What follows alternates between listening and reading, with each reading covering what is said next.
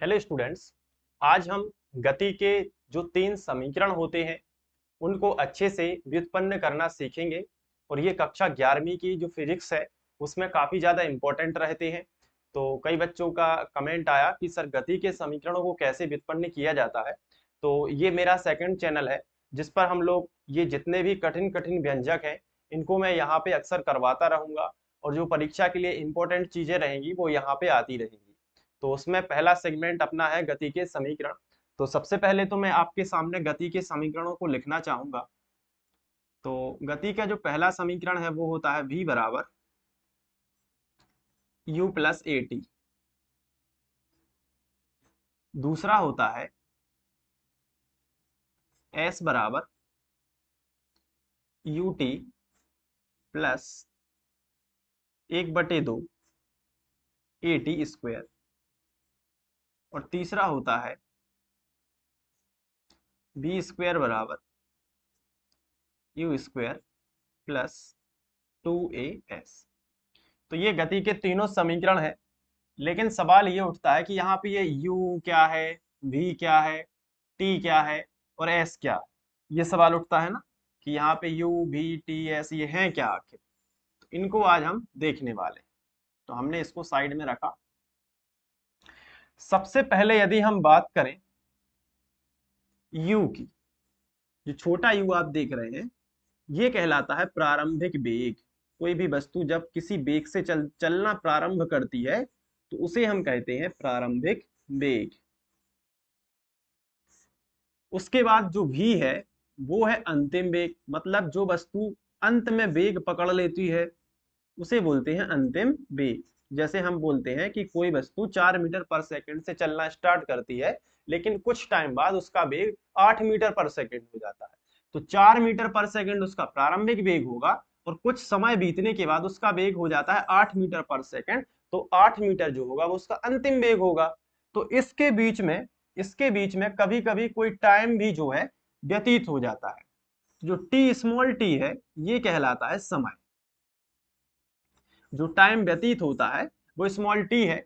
और इसमें जब कोई वस्तु एक जगह से दूसरी जगह चल के जाती है, एक जगह से दूसरी जगह चल के जाती है तो यहाँ पे कुछ दूरी तय हो जाती है, ठीक है? तो वो एस क्या है? दूरी। तो गति के तीनों समीकरणों में ये देखो, u भी t और s आया है, इसके साथ साथ a भी आया है। a मतलब होता है त्वरण त्वरण मतलब होता है एक्सेलरेशन कि कोई वस्तु जब एक चाल से चल रही होती है और उसकी चाल में जब वृद्धि होती है तो अचानक से उसकी स्पीड बढ़ जाती है, इसे त्वरण कहते हैं। तो ए क्या है? त्वरण। तो कुल मिलाकर ये शब्दावली है जिसको आपको यहाँ पे याद रखना है। तो ये शब्दावली भी आप याद रखोगे, ठीक है? तो यहाँ पे हमने इसको लिख लिया। अब हम सिद्ध करने जा रहे हैं गति का प्रथम समीकरण। तो हम यहाँ पे लिखेंगे गति का प्रथम समीकरण।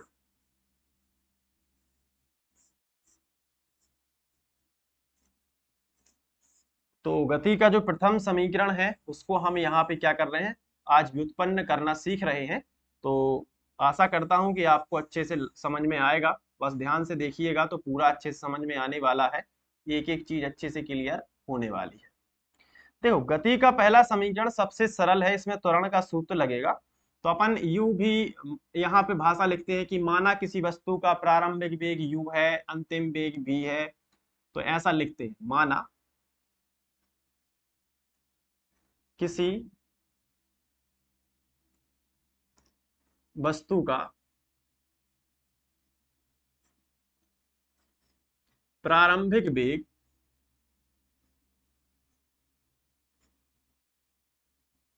प्रारंभिक वेग u है,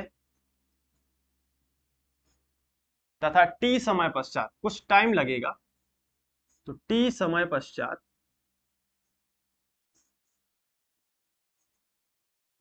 वस्तु का जो अंतिम वेग है, वो भी हो जाता है।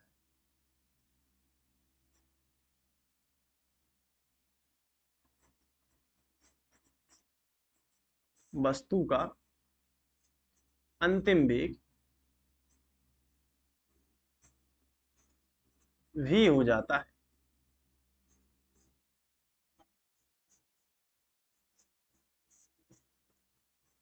तो त्वरण। त्वरण का सूत्र ए बराबर होता है। वेग में परिवर्तन बटे समय। वेग में परिवर्तन क्या हो रहा है? तो त्वरण ए बराबर होता है वेग में परिवर्तन।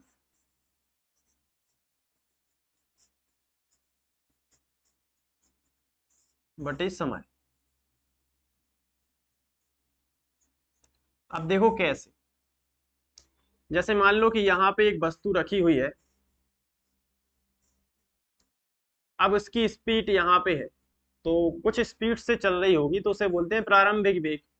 अब वो कुछ टाइम लेगी और यहाँ से पहुंचेगी यहाँ पे। तो ये एस दूरी तय हो, जाएगी और उसका जो अंतिम वेग है वो भी हो जाएगा। ठीक है?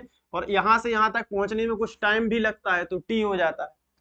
तो यहाँ पे त्वरण का फॉर्मूला लगाएँगे, जो कि होता है वेग में परिवर्तन बटे समय। वेग में परिवर्तन। वेग में परिवर्तन का मतलब होता है बाद के वेग में से, जो बाद में वेग हुआ, उसमें से पहले का वेग घटा देंगे तो पता चल जाएगा कि इतना वेग परिवर्तित हुआ है। तो वेग में परिवर्तन बटे समय में, वेग में परिवर्तन v माइनस यू समय मतलब t इसके बटे कुछ नहीं है तो एक कर लेंगे और करेंगे त्रियक गुणा।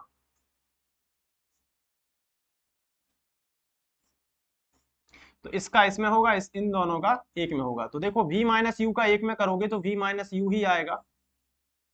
और a का t में करोगे तो आएगा ए टी अब u का पक्षांतर इस तरफ़ कर लेंगे तो v बराबर माइनस की माइनस का जो u है, इस तरफ़ आएगा तो प्लस का u हो जाएगा तो u प्लस ए टी तो हो गया ना सिद्ध? तो v बराबर u प्लस ए टी और यही गति का प्रथम समीकरण है, इसको आप अच्छे से कर लीजिएगा। उम्मीद है कि अच्छे समझ में आ गया होगा।